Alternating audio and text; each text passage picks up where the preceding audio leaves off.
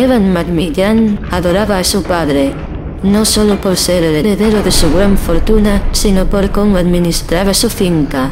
Educado con mano firme, Evan pasó a dirigir a los trabajadores con mano de hierro. La producción siempre era alta y la finca Macmillan prosperó bajo la dirección de padre e hijo. Cuando la salud mental de Archie Macmillan empezó a deteriorarse, Evan lo protegió de la chusma que quería una parte de su fortuna. Hacía todo lo que su padre le pedía, fuese lo que fuese. Cuando Archie Macmillan perdió la cabeza del todo, Evan pasó a ser su brazo armado y se convirtió en el mayor asesino de masas de la historia moderna. Nunca pudieron demostrar que había llevado a más de 100 hombres a los túneles antes de detonar los explosivos y condenarlos a una muerte segura. La historia de la finca Macmillan es una historia de riqueza y poder con un final terrorífico. No se sabe el número de víctimas que cayeron víctimas de padre e hijo. No hay ningún indicio sobre qué pasó con Evan Macmillan. Su padre es otro rompecabezas sin resolver. Su cuerpo sin vida fue hallado, solo y abandonado, en el sótano de un almacén.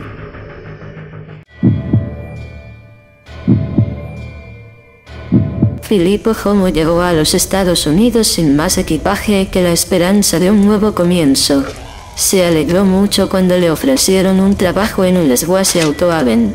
Se trataba de un pequeño cementerio de automóviles donde los policías sobornados hacían la vista gorda con los negocios turbios que allí se cosían.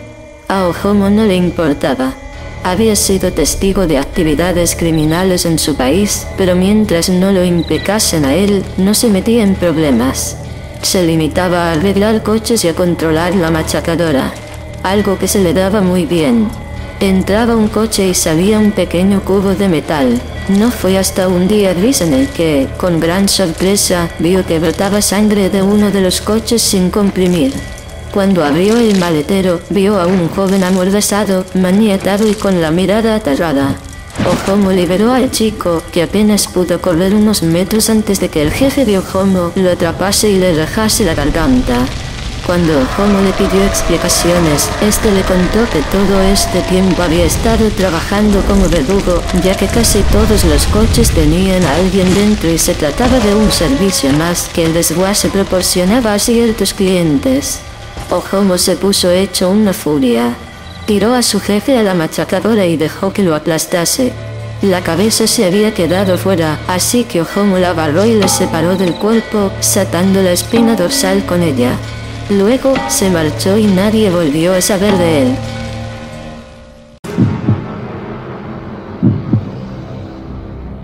Este niño sin nombre, vástago de los adinerados terratenientes Max Thompson Sr. y Evelyn Thompson, fue el hijo no deseado de unos padres despistados. Al estar horriblemente desfigurado, lo apartaron de la sociedad. Estaban tan avergonzados de su hijo que lo encerraron en una habitación y la tapiaron, le daban de comer a través de un agujero en la pared. Cuando el niño se escapó, se vengó de una forma terrible y salvaje, asesinando a sus padres, que lo habían torturado en vez de educarlo como a un hijo. Tras cometer esta atrocidad siguió viviendo en la granja, vomitando su ira violenta contra los animales que vivían sueltos en ella. Cuando finalmente se liberó de los grilletes, se puso a correr por los campos de maíz, persiguiendo y sacrificando cualquier ser vivo que pudiera encontrar. Nunca se encontraron los cuerpos de Max Evelyn, pero encontraron animales torturados y destripados por toda la granja. La granja Colduin se clausuró rápidamente y la tierra se dividió y vendió. Nadie llegó a comprar la casa familiar. Tal vez fuera por el sonido de motosierra que podía oírse en las calurosas noches de verano.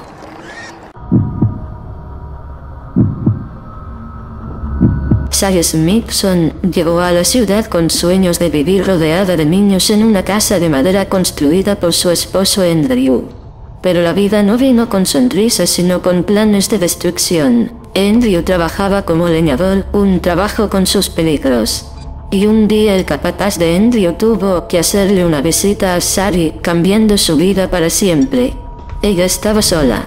Sin comida en la mesa, el único empleo que podía conseguir era en el asilo Crotus Pren. Nadie buscaba empleo allí a menos que lo necesitaran desesperadamente. Sally, sin ninguna educación, comenzó desde abajo y después de dos décadas no había progresado a estar más cerca de la cima. En cambio, su mente había llegado a sus límites. Dos décadas de ver cosas horribles que quebrantan los ojos, recuerdos que se reproducen todas las noches, ser abusada verbal y físicamente por personas sin límites. Sally vio locura desde afuera, solo para quedar atrapada en ella. Finalmente no pudo soportarlo más y los conceptos de purificación surgieron dentro de Sally. Ella hizo lo que sintió que era necesario. Cuando el personal de la mañana llegó un día de septiembre, encontraron más de 50 pacientes muertos en sus camas. Sally era la única en la escena, meciéndose hacia adelante y hacia atrás. Exactamente lo que sucedió solo lo sabe ella, pero al parecer algunos de ellos fueron ahogados, ya que tenían marcas alrededor de sus cuellos. La metieron en una ambulancia, pero esta nunca llegó al hospital. La encontraron estrellada en un bosque cercano, con los trabajadores muertos en su interior y ningún rastro de Sally.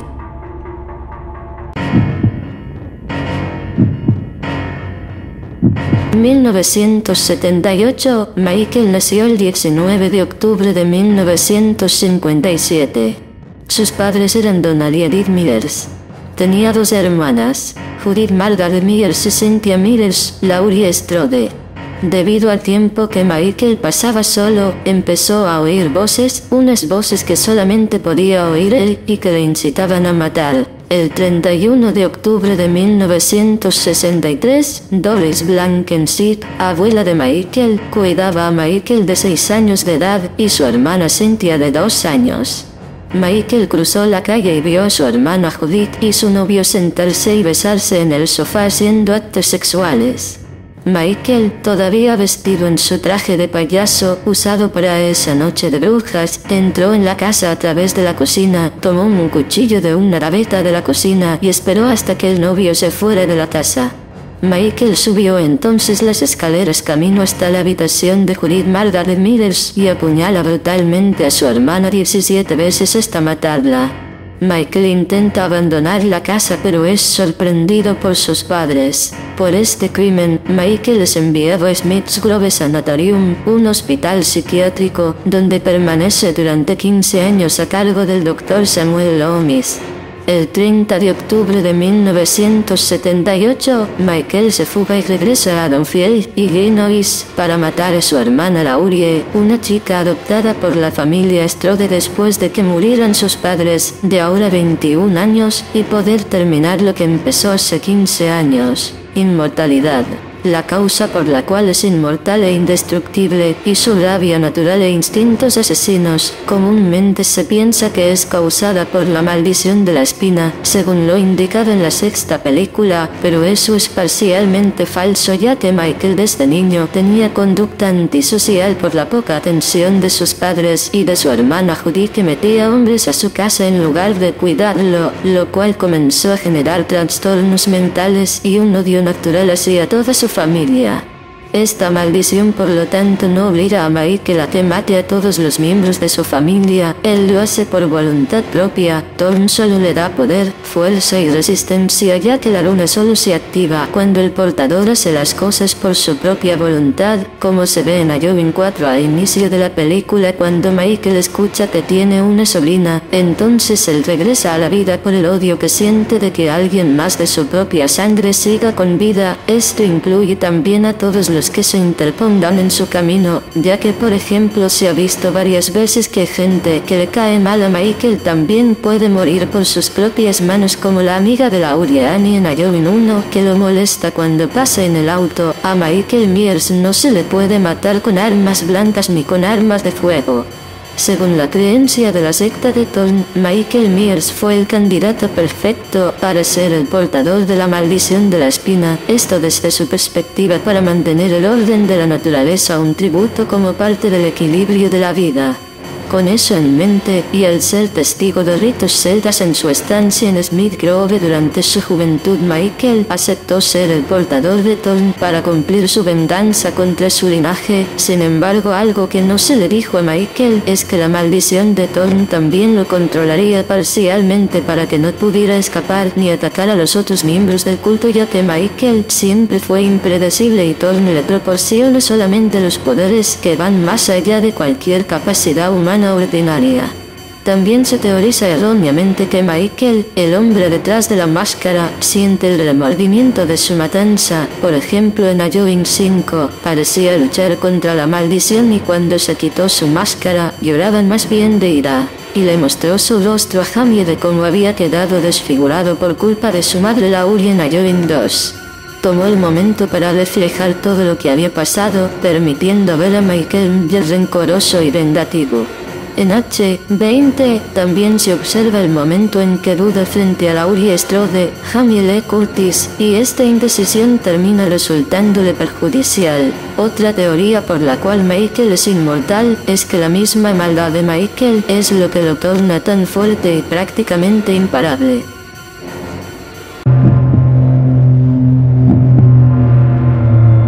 Creció en un pueblo tranquilo, sus vecinos eran amables y los mayores se ayudaban entre sí y mantenían vivas las tradiciones. Lisa sentía predilección por los talismanes que le habían enseñado a dibujar para conseguir protección y buena suerte. Una noche, mientras volvía a casa a través del bosque, estalló una terrible tormenta. Se resbaló en el suelo mojado en medio de la oscuridad y se golpeó la cabeza. Mientras perdía la conciencia, vio varias figuras oscuras acercarse a ella desde la espesura. Pronto se encontraban lo suficientemente cerca para poder adivinar lo que sus malvadas y hambrientas sonrisas pretendían. Se despertó encadenada en la pared de un sótano inundado. En la penumbra podía ver a otros cuyas heridas abiertas estaban cubiertas de moscas. No tardaron mucho en morir cuando los caníbales empezaron a cortar trozos de sus cuerpos con sus cuchillos oxidados. Pero de alguna forma Lisa consiguió sobrevivir. Hambrienta y mutilada, sus grilletes ya no apretaban tanto sus escuálidos brazos. Empezó a tirar, y el metal desgarró su carne y su piel hasta que consiguió liberarse. Su carne supuraba un pus amarillento y se podían ver sus huesos a través de las heridas gangrenadas. Se sentía incapaz de seguir adelante. En medio del delirio, recordó su hogar, recordó a los ancianos, trazó los símbolos que le habían enseñado. Un hambre oscura se despertó en su interior. Ansiaba sangre. Eligió la venganza.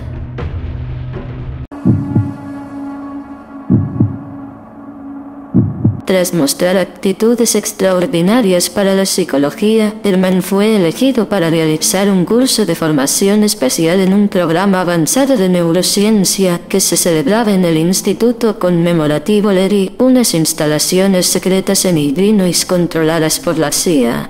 Allí fue donde Herman conoció al Dr. Otto Stamper, Bajo su supervisión, Herman empezó a emplear extraños métodos cada vez más crueles para sonsacar información a los presos enviados al instituto, que en realidad era también una prisión y un centro de reeducación secreto para quien quiera que fuera el enemigo de los Estados Unidos del momento.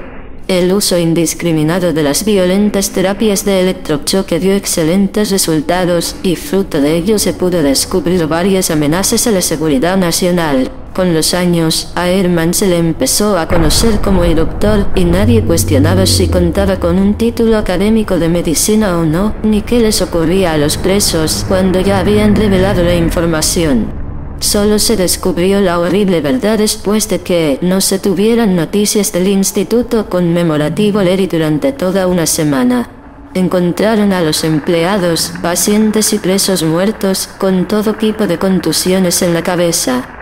Fue posible identificar los cadáveres de los presos y del personal, incluido el del doctor Otto Stamper, pero no había ni rastro de Herman Carter, alias el doctor. Desde muy temprana edad, Herman Carter comprendió la psique humana. Analizar y reconstruir algo tan poderoso como el cerebro le intrigaba. Era un alumno acto y ganó la atención de sus maestros. Se destacó en la escuela secundaria y fue publicado en Partisan, una gaceta de psicología. Al cabo de un año, Carter fue incluido en el programa avanzado de neurociencia de Yale, realmente un frente para la CIA. El poder mental es una necesidad si estás a punto de conquistar el mundo y acabar con tus enemigos. La CIA entendió esto, por lo que el interrogatorio y la inteligencia se convirtieron en su prioridad número uno.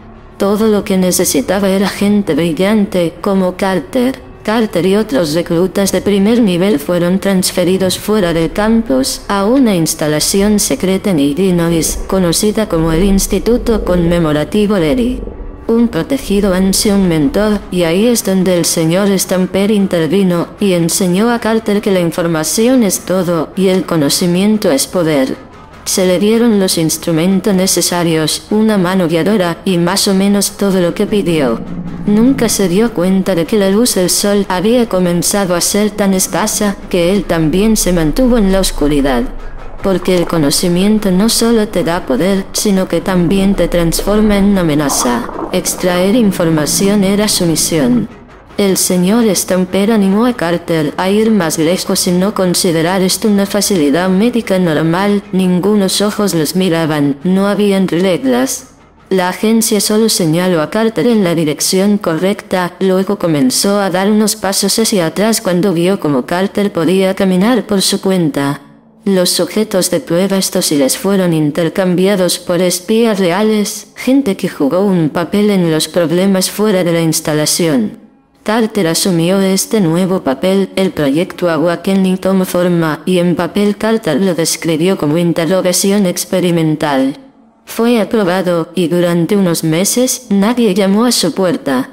Los gritos y los gemidos llenaron el pasillo fuera de su laboratorio. Las luces fluorescentes parpadearon cada vez más. ECT, terapia electroconvulsiva, por sus siglas en inglés, se convirtió en un plato estándar en el menú. Los prisioneros detenidos en la instalación rogaron a los guardias que los llevaran a cualquier otro laboratorio, excepto al de Carter. Los rumores fueron desatendidos al principio,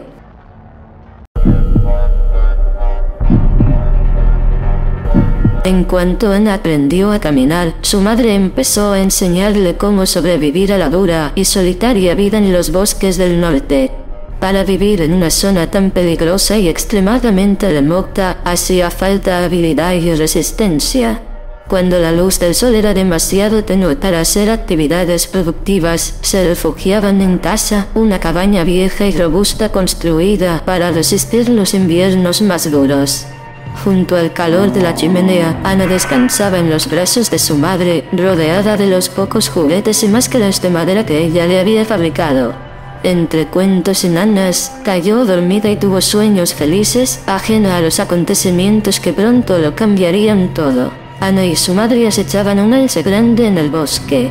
Sabían que era una presa peligrosa, pero había sido un invierno especialmente difícil y casi no les quedaba comida. La idea de morir de hambre les daba más miedo que cualquier criatura del bosque. De improviso, el alce se alzó, bramó y atacó a Ana. Ella se quedó paralizada del miedo mientras el mundo entero parecía agitarse bajo los pisotones de la inmensa bestia. El alce estaba tan cerca que Ana vio la furia asesina en sus ojos cuando su madre se interpuso, hacha en mano. Un grito desgarrador se escapó de sus labios mientras el alce la empalaba con su cornamenta y la levantaba en el aire. Con todas sus fuerzas, hundió su hacha en su cabeza una y otra vez mientras el animal intentaba quitársela de encima. Con un crujido desagradable, la cornamenta se rompió y la madre de Ana quedó liberada. La bestia se desplomó. Ana era demasiado pequeña para mover el cuerpo fracturado de su madre, así que se sentó junto a ella en el claro donde había caído. Para distraerla de los bramidos agonizantes del alce, la madre de Ana la abrazó y tarareó su nana favorita. Se quedaron así, la cazadora y el alce cada vez más silenciosos, hasta que Ana se quedó sola en el bosque silencioso. Al cabo de un rato se levantó y emprendió el largo camino a casa. Aun siendo una niña, sabía lo suficiente sobre vivir en el gélido bosque para sobrevivir. Siguió sus instintos y se hizo una con la naturaleza. Fue creciendo y volviéndose más fuerte sin dejar de practicar su caza. A medida que se iba volviendo una depredadora, su humanidad se convirtió en un sueño casi olvidado. Fue ampliando su territorio y alimentándose de lo que cazaba. Progresó de las ardillas a las liebres, los bisones y los zorros. Al cabo de un tiempo, se cansó de ellos y pasó a cazar animales más peligrosos como lobos y osos. Cuando unos incautos viajeros traspasaron su bosque, descubrió su nueva presa favorita, los humanos. Las desafortunadas almas que se extraviaban hasta su territorio acababan degolladas como cualquier otro animal. Le gustaba coleccionar sus herramientas y prendas coloridas y, sobre todo, juguetes cuando había niños. Pero jamás reunió el valor para matar a niñas. A las niñas se las llevaba a su casa en las profundidades del bosque. Le producían admiración y mirarlas despertaba algo en su corazón. Ansiaba la cercanía de un ser querido, una hija suya. Ataba a las niñas del cuello con una cuerda áspera y las pose sujeta firmemente a la pared entre los juguetes de madera, los muñecos y los cuentos saqueados que no sabía leer. No podía permitir que se alejaran o sufrirían una muerte segura en el bosque. Una y otra vez, las niñas se consumían y morían de frío, hambre o enfermedad. Una y otra vez, aquello sumía a Ana aún más en el dolor, la pena y la locura. Se sentía obligada a intentarlo de nuevo y se ponía a atacar las aldeas cercanas para asesinar a familias y secuestrar a sus hijas. Se colocaba una de las máscaras de animal que su madre le fabricó durante muchos años antes para intentar sosegar a las niñas asustadas. Los aldeanos difundieron la leyenda de que una especie de bestia se echaba en el bosque rojo, la cazadora, que mataba a los hombres y se comía a las niñas. La guerra acabó llegando al bosque. Los soldados alemanes empezaron a atravesarlo en su marcha para atacar al imperio ruso, que se derrumbaba. En aquellos tiempos sombríos ya no pasaban viajeros.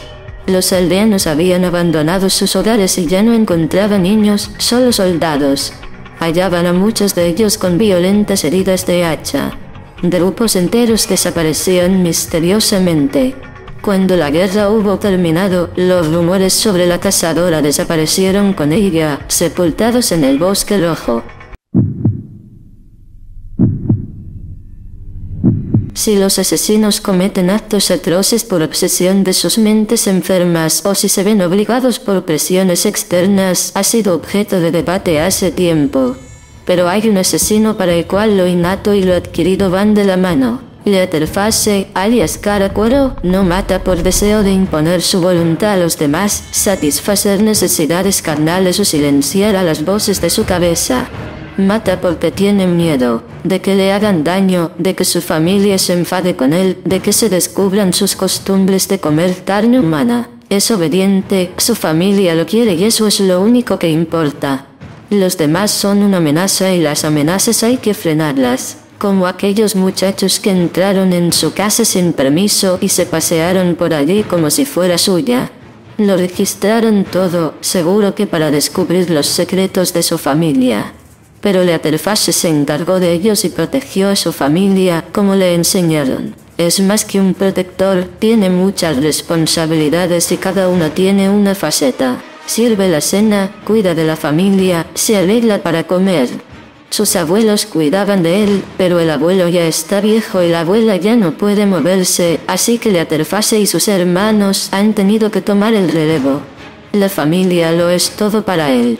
La familia es seguridad y protección. Pero, aunque hizo todo lo que pudo, una de las muchachas se escapó. Intentó detenerla, persiguiéndola lo más rápido que pudo, pero ella tenía otra ayuda, otro intruso que conducía un camión. El malvado camionero mató a su hermano. Lo atropelló como si se tratara de una alimaña. Ciego de furia, Leatherface se abalanzó sobre él con la motosierra lista para vendar a su familia, pero el camionero fue demasiado rápido. Golpeó a Leatherface y lo hirió con su propia motosierra. Mientras veía a los intrusos marcharse, la ira, la pena y el dolor se juntaron con la preocupación de qué le pasaría a su familia. Seguro que volverían con la policía y estos se llevarían a sus hermanos y a su abuelo. Y sin ellos, ¿qué sería de él? Sin sus órdenes, se debilitaría y moriría. Fue conducido hasta un lugar familiar pero desconocido e instintivamente supo lo que tenía que hacer. No podía fracasar como lo había hecho con su familia. Los intrusos vendrían, pero usaría sus habilidades para vencer cualquier amenaza. Había gritos, pero él volvería a silenciar al mundo hasta que el único sonido que quedara fuera el bendito aullido de su motosierra. Adelante, intrusos. Incluso en vida, Freddy Krueger fue una criatura de pesadilla para aquellos que lo conocieron de verdad. Oculta tras una máscara de amabilidad y simpatía, Freddy solo revelaba su auténtica naturaleza a sus víctimas. Cuando los padres de Springwood se enteraron, salieron a dar casa a Freddy y se tomaron la justicia por su mano. Pensaron que el fuego les había librado de un monstruo aquella noche y que sus hijos por fin estarían a salvo. ¿Cuántos se equivocaban? Un mal tan poderoso como el suyo siempre encuentra la forma de sobrevivir. Pasaron los años y el horror se enteró. Sus víctimas pasaron página y lo olvidaron todo. Entonces, de alguna manera, Freddy regresó y los sueños se convirtieron nuevamente en pesadillas. Freddy centró su ira en quienes le habían hecho daño y, especialmente, en su verdadera obsesión, Nancy Brock. No obstante, subestimó la fuerza e ingenio de esta, quien, junto a su amigo Kentin, se les arregló para debilitar a Freddy, mutilarlo y darlo por muerto una vez más. La muerte no había querido acoger a Freddy en su primer encuentro, porque se pensaron que iba a hacerlo ahora. Una vez más, volvió a resurgir, sediento de venganza. Y esta vez concentró su rabia en el chico que le había impedido llegar hasta Nancy, su obsesión número uno. Freddy invadió los sueños de Kentin y lo aterrorizó noche tras noche hasta dejarlo sin fuerzas y sin entereza. Cuando llegó el momento, obligó al chico a volver al oscuro reflejo de la guardería Badam. Allí consumaría su venganza. Freddy echó al muchacho por los pasillos del colegio. Se tomó su tiempo, saboreando cada momento de la casa. Esto era lo que más disfrutaba. El olor a sudor en el aire, los jadeos irregulares de la respiración aterrorizada de sus presas. Eran suyas y podía jugar con ellas cuanto quisiera. Allí estaba el chico, al final de un largo pasillo. Demasiado cansado y asustado como para seguir huyendo, se había resignado a su destino. Freddy empezó a acercarse con los brazos extendidos, arañando la pared con sus garras. Con las puntas raspó una tubería para que el chirrido metálico agudizara el terror del muchacho. Una lluvia de chispas cayó sobre un líquido que cubría el suelo de baldosa. Surgió una llama azul que rápidamente se extendió por todo el pasillo. El chico salió corriendo mientras Freddy se abría camino entre las llamas con una furia inusitada. Atravesaron salas y paredes como una exhalación hasta que llegaron al sótano de Freddy. Allí no había escapatoria. Freddy se acercó lentamente al chico. Tenía tanto miedo que Freddy casi podía saborearlo, pero sus ojos brillaban con un odio desafiante que resultaba casi admirable. Freddy levantó sus garras, pero, de repente, sintió otra presencia junto a él, algo antiguo, poderoso y oscuro. Una nube tenebrosa lo envolvió, lo único que podía sentir era un ruido como de vigas de madera doblándose y crujiendo en la distancia y el gemido reverberante de metal contra metal. Algo arcano e irreconocible, a medio camino entre palabras y el terror más puro. Tras caer y girar una y otra vez en el vacío, Freddy se encontró de nuevo en la guardería. Pero no era su guardería. Parecía la misma, pero tenía algo diferente. Sus poderes se habían reducido en algunos aspectos y agudizado en otros. El chico parecía haber desaparecido, pero otras víctimas recorrían los pasillos. Algunas serían intrascendentes y otras se convertirían en sus nuevas presas favoritas. Todas sucumbirían bajo sus garras. John Kramer, más conocido como Jigsaw, planificó el nacimiento de su hijo para el año del cerdo del zodíaco chino como un tributo a la fertilidad y el renacimiento, un nuevo comienzo para él y su mujer y el inicio de una vida dichosa para su hijo. Sin embargo, el plan de torció la fatídica noche que un drogadicto se coló en la clínica de su mujer para saciar su síndrome de abstinencia. Cuando dichoso acontecimiento resultó en la muerte del feto, John finalmente atrapó al drogadicto y lo convirtió en su primer sujeto de pruebas. El cerdo había cambiado para siempre.